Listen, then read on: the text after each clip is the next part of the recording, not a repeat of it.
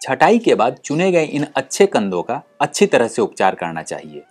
इन बीजों का उपचार करने के लिए सबसे पहले किसी नाद या ड्रम में 20 लीटर पानी ले और उसमें 40 ग्राम मैंकोजेब पाउडर, जिसे एम पैतालीस भी कहते हैं, को मिलाकर अच्छी तरह से उसका घोल बना ले।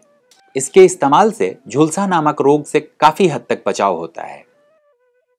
इस घोल में 10 किलो आलू के बीज को डालकर 15 मिनट के लिए छोड़ देना चाहिए।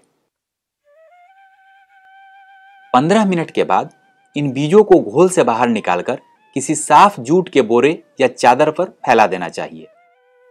अब इसी घोल में 10 किलो बीज और डालें और फिर उसे 15 मिनट के लिए छोड़ दें।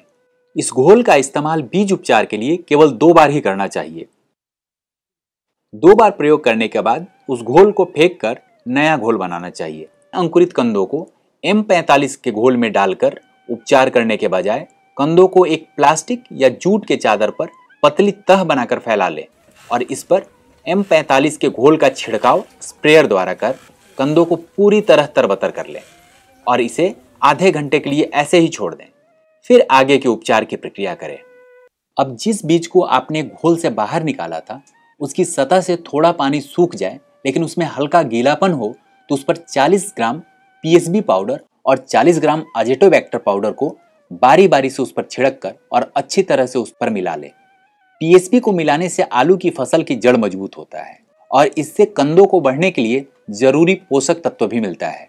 इसी प्रकार अजिटोबैक्टर से बीज को उपचारित करने से पौधों को नाइट्रोजन मिलता है, जिससे पौधों का सही विकास होता है और कई बीमारियों से इसका बचाव भी होता है। अंत में 60 ग्राम ट्राइकोडर्मा को 10 किलो बीज पर इस तरह से छिड़क कर मिलाएँ कि हर कंद पर चारों तरफ़ से उसकी एक परत जम जाए। ट्राइकोडर्मा एक जैविक फफूंदी नाशक होता है, जो आलू की फ़सल को कई तरह की बीमारियों, विशेषकर झुलसा से बचाता है, तथा इससे कंदों का अंकुरण भी अच्छा होता है, और पौधे भी स्वस्थ होते हैं। इसके बाद इसे आधे घंटे तक किसी छायादार जगह में सुखाएँ। उपचार की ये सारी प्रक्रिया किसी छायादार जगह पर करनी चाहिए, और इस बात का ध्यान रखना चाहिए कि उपचारित कंदों को धूप में न रखें, और ना ही इसे दोबारा बोरे में भरें। इन उपचारित कंदों को किसी कमरे में जहाँ ज़्यादा रोशनी नहीं हो, किसी नाद या फिर बड़ी टोकरी में नीचे और ऊपर पुआल से अच्छी तरह से ढककर रख दें अगले पाँच छह दिनों में इसमें अंकुरण आने लगेगा। बीच बीच में हमें इसकी अंकुरण की जाँच करते रहना चाहिए। अंकुरण आते ही उस बीज को खेत में लगा देना चाहिए। ध्यान रहे कि अगर कंदों में पहले से ही अंकुरण निकल चुका हो तो उसे अंकुरण के लिए रखने की ज़रूरत नहीं है। इन्हें उपचार करने के एक दो घंटे बाद सीधे बुआई के लिए ले जा सकते हैं। इस प्रकार आप भी अपने बीज का सही चुनाव एवं उसका विधि पूर्वक उपचार करके उसे कई बीमारियों से बचा सकते हैं।